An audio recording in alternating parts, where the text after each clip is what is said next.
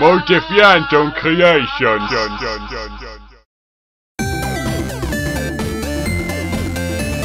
Felix recenserar.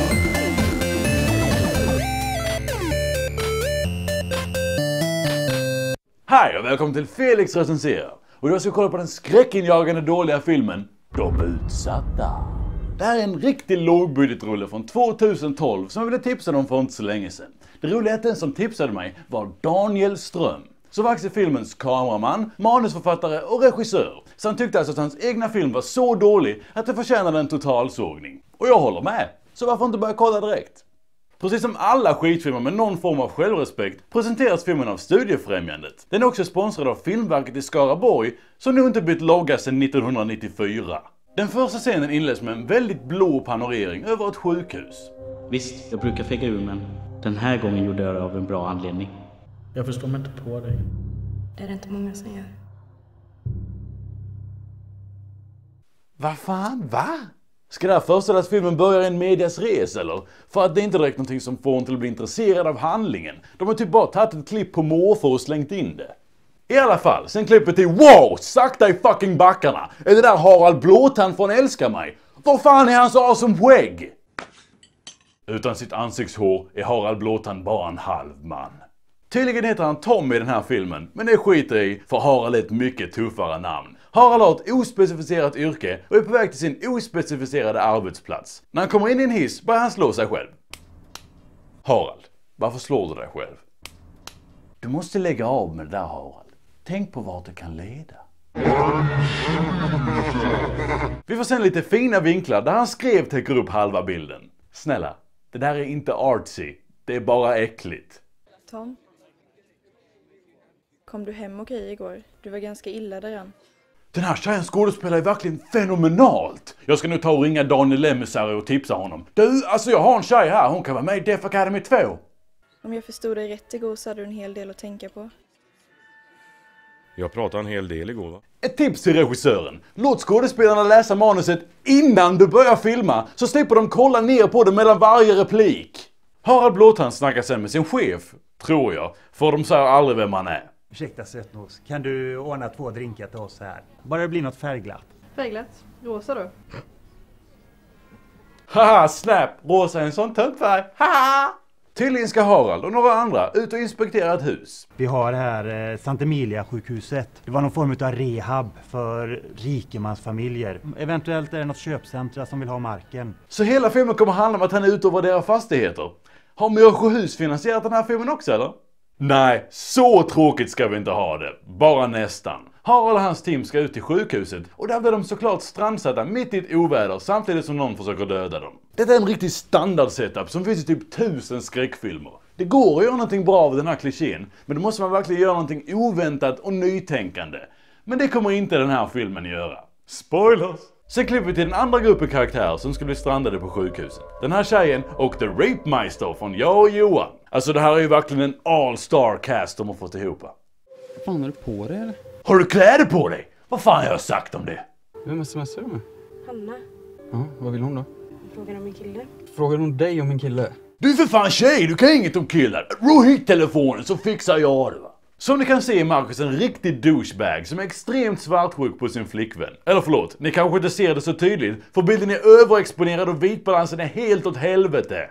Än så länge har ju filmen inte varit särskilt spännande. Det enda som skulle kunna göra det mindre spännande nu är om de börjar prata om vädret. Dessutom så blir det blåsigt med hårda väst och sydvästvindar, mycket hårda vindbyar också. For fuck's sake, försöker ni ens? I alla fall, Harald och hans kompis Skäggmannen åker iväg med buss till det gamla sjukhuset. Jaha? Så den här snubben fick ha skägg, men inte Harald Blåtand? Hm. Bilden är dessutom så överexponerad att allting utanför fönstret är helt vitt. Det kan i och för sig bero på att man använder en sån här kamera.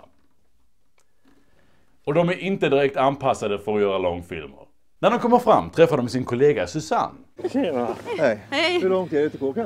Fem, sex mil? Så de går 5-6 mil i snö och kyla utan så mycket som en vinterjacka. Sicka jädra vikingar de är. De sätter igång och inspekterar huset och allt genom alldeles för många artsy-fartsy vinklar. Till och med Harald Blåtand tycker det blir för mycket. Sen går han på dass. Ja, nu är det en pissoar allt. Bäst jag skriver upp det. Till slut hittar han dock det han letat efter i hela sitt liv. Han finner sig själv.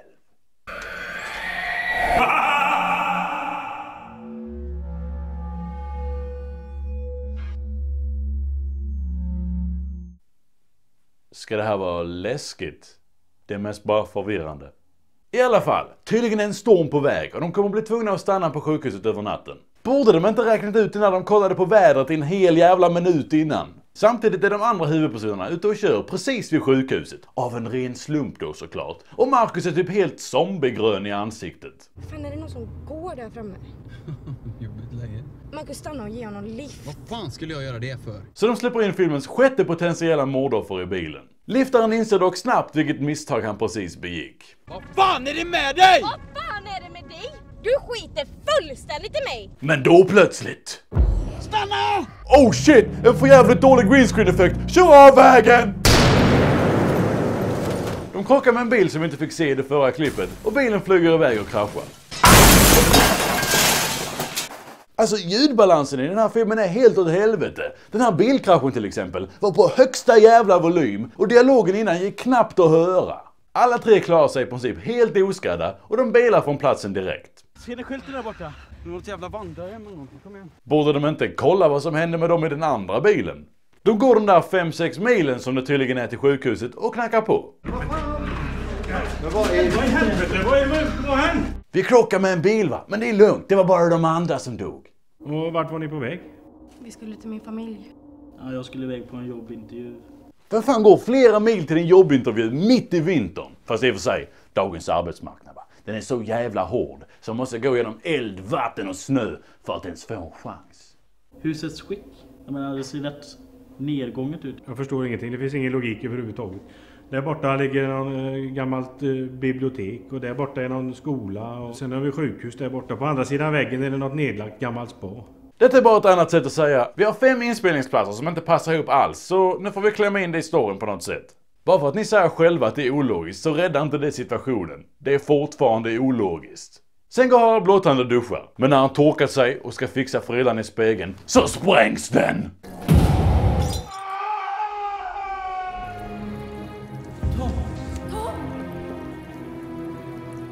Man får bara se en halv sekund när spegeln sprängs, men det syns ändå tydligt att det är en ful jävla specialeffekt. Hela hans ansikte var fullt av glassplitter, men vi får bara se sex droppar blod. Han vrålar av smärta, men när de andra kommer in dit fem sekunder senare är han stendöd. Hur fan hann han dö på några sekunder? Eller egentligen, varför skulle man dö av att få lite glassplitter i ansiktet? Det ser inte ut att ha trängt in i hjärnan eller någonting ens. Det är verkligen en bedrift att lyckas klämma in så här många fel på 15 sekunder. Det är nästan så att få ringa ett till samtal till Daniel Lemusari. Ja du Danne, jag har en up and coming regissör här va. Alltså han är så jävla bra, du skulle kunna samarbeta med honom. Ni skulle kunna göra magi tillsammans. Så ja, det är en timme kvar av filmen och den enda karaktären vi bryr oss så här lite om är redan död. Vad säger ni, ska vi stänga av den här filmen och kolla på en bra film istället? Nej, ni vill se mig lida mer. Okej, okay, då får ni väl. Susanne springer ner för att starta bilen. Fast vänta, sen när har de en bil? Fick de inte gå från busshållplatsen innan? Major fucking continuity problem. Allt hon säger är dessutom bortklippt förutom... Starta för helvete! Snyggt jobbat! De käbblar lite om vem som kan ha mördat Tom och sen får vi ett asdåligt jump scare. Ah, jag ska bara knyta skorna lite. Oh nej, shit ett spöke! Skäggmannen och den andra snubben pratar om sina känslor som om de känt varandra i åratal trots att de träffades för knappt en timme sedan. Inte alls för mycket förtroende att ha för den här Marcus där ute. Han är säkert fegast av oss allihopa. Mycket snack men ingen verkstad. Inte som Tom alltså. Nej, den där Tompa, han var en redig go-getter. Han drack en drink, han gick lite och han gäspade. Han levde verkligen sitt liv fullt ut den mannen. Han och hans fru var på väg bort. Isär från varandra. De klarade inte av att han jobbade så mycket. Så då gick hon till dig? Den här filmen har ungefär samma problem som Det Okända, som jag recenserade förra året. Den lyckas inte göra en det minsta intresserad av karaktärerna och ändå försöker den bygga upp massa relationer och drama så här mitt i handlingen. Det drar ju bara ner på tempot, som redan är väldigt långsamt. Under tiden läser Susanne i en dagbok som hon hittat och vi får en flashback med en helikoptervinkel över sjukhuset. Här röker alltså halva filmens budget. Man ser också att sjukhuset ligger precis bredvid en stor parkering. Inte direkt 5-6 mil från civilisationen alltså. I Flashbacken får vi veta att den lilla spökflickan vi såg innan var en patient på sjukhuset för länge sedan. Hon hade någon form av psykiska krafter som gjorde henne farlig för de andra barnen. Exakt vad det är för krafter får vi aldrig se. Läkaren, som också råkar vara hennes pappa, vet inte vad han ska göra med henne. Vad vore det bästa för henne? Hon är ju inte som de andra barnen. Det är bäst jag dödar henne direkt. Jag skämtar inte ens, det är exakt så han tänker. Julia finns inte i några papper. får inte finnas heller. Därför måste jag göra det här. För Julia får aldrig komma ut härifrån. Ja, vi glömde ju fylla i födelsebeviset när hon föddes. Och är man inte född på papper ska man fan inte vara född i verkligheten. Rätt ska vara rätt. Vi får också den här fint dubbade scenen.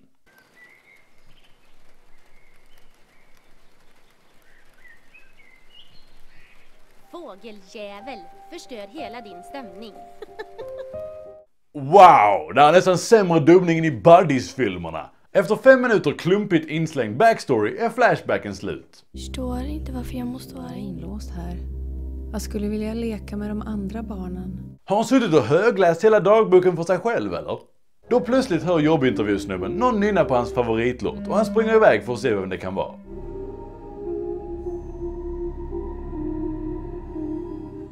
Hur kunde någon se det här och tycka att det såg bra ut? Flickan är till och med filmad ur en annan vinkel än resten av klippet. Hörru din lilla loser.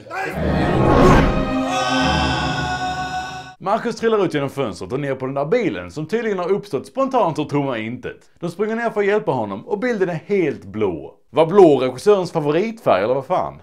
När de kommer ner och försöker kolla pulsen klipps det helt plötsligt till ännu en flashback. Jag är ledsen Frank, men vi kommer att stänga ner sjukhuset. Ta bort den här äckliga närbilden, man kan fan se porerna i hans ansikte. Vi är besvikna på dig. Ni är besvikna! Vad fan tror du jag är? Du är i skiten. Advokater och släktingar till dina patienter kommer förmodligen att stämma dig med allt de har. De här två överträffar hela tiden varandra i sugighet. Det är som om de har en jävla rap battle i dåligt skådespel. Detta är din vän som talar. Du har aldrig varit min vän. Ja. Var ett jävla arsel i kostym. I så fall är din karriär definitivt slut. Ja. Detta var dock sista droppen för Dr. Frank. Nu ska han banne mig döda sin enda dotter. Men inte förrän han druckit lite vatten.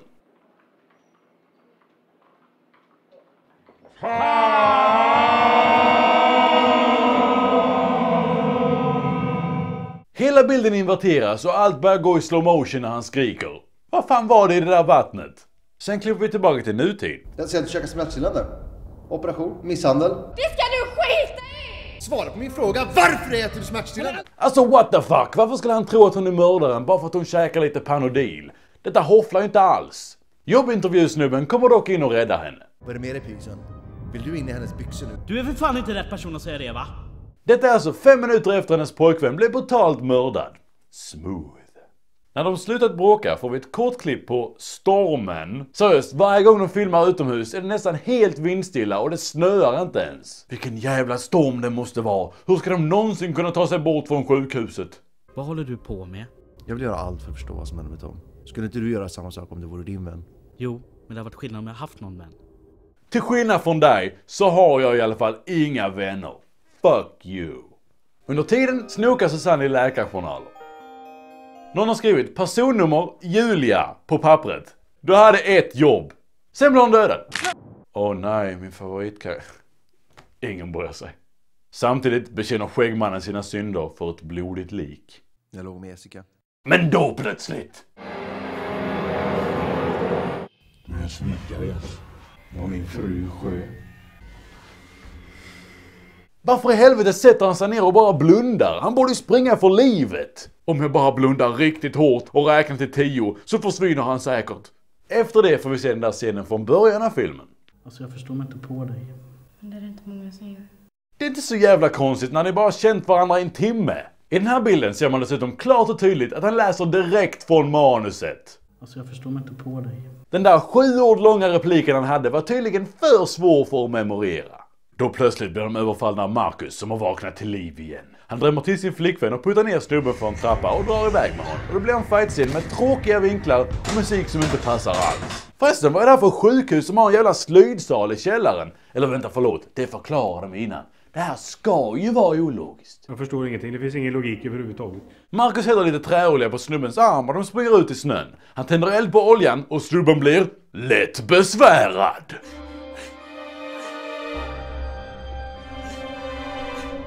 Alltså hela hans arm brinner, borde han inte skrika av smärta? Han lyckas släcka elden i alla fall och går in och slår ner Marcus. Sen går de för att hämta Susanne. Ja, det snacket är knäckt. Han säger det som om han försöker öppna en låst dörr. Åh, typiskt dörren är låst. Åh, typiskt min jobbarkompis är död. Åh. De hittar ett foto av den lilla spökflickan och då dyker hon upp. Jag ville bara vara vanlig, men det fick jag inte. Vad menar du med vanlig? Jag ville bara slippa se ut som en panda.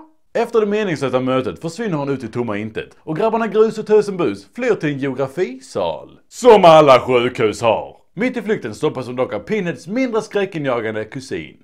Du svek mig. Jag sviker dig! Tom, ja. Skäggmannen ser hela sitt liv passera i revy.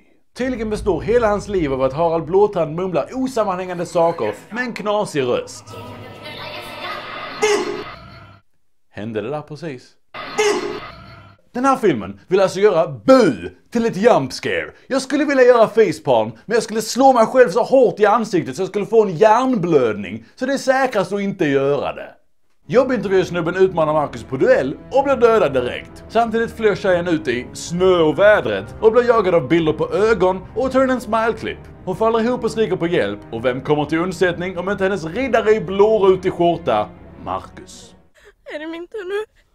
Jag ska inte göra dig illa. Mm, nej nej, det var ju därför du slog henne rätt i ansiktet innan. Han bär iväg henne till närmaste Konsum, sen får vi ännu en flashback. Jag hatar det jag måste göra. Hela min kropp säger nej. Hela din kropp säger snarare. Jag skulle vilja se utsidan av det här stället. Alltså, det finns fönster. Sen dödar han sin dotter och grätar en skvätt. Det här hade kunnat vara en riktigt hemsk och berörande scen. Om vi brytt oss om storyn och karaktärerna och skådespelarna varit bättre och ljussättningen. Ni fattar. Jag har förstått att pappa aldrig ville ha mig. Jag ska göra allt för att ta mig ut härifrån. Kanske inte idag. Men jag vill komma ut från det här stället. Och filmen slutar med en övergång från Julia till den vuxna tjejen. Så ska detta symbolisera någonting? Har flickvännen varit den lilla tjejen hela tiden? I och med att hon visste att hennes pappa ville döda henne kan hon ju faktiskt ha bytt ut giftet i sprutan innan och överlevt. Det är jäkligt långsökt men om det inte betyder något alls så... Jag vet inte fan. Och jag bryr mig inte. Så det där var de utsatta. Den här filmen är verkligen extremt tråkig. En kvart efter man kollat på den har man redan glömt vad fan den handlar om. Om man ska beskriva den med ett ord så är det oinspirerad. Det känns som att ingen egentligen hade någon idé till filmen, så de bara tog de fem första klichéerna de kom på och gjorde en film av det. Och la in en timmes filler för att göra det till en långfilm. Karaktärerna är väldigt platta och filmen lyckas aldrig göra en intresserad av dem. Så man bryr sig inte alls om vad som händer med dem. Skådespelarna ser dessutom ut att vara sjukt uttråkade halva tiden. Den enda som är en gnutta trovärdig, åtminstone ibland, är faktiskt han som spelar Marcus. Och när skådespelaren från en Ronny Brolin-film är den bästa i filmen, då vet man att ens film suger. Så ja, filmen är ungefär lika intressant som att kolla på en urblekt kartongbit. Men det är en glad smiley på väggen i slöjdsalen, så den får 10 av 10.